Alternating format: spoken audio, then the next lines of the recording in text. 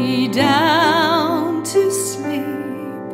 I pray the Lord my soul to keep. If I should die before I wake, I pray.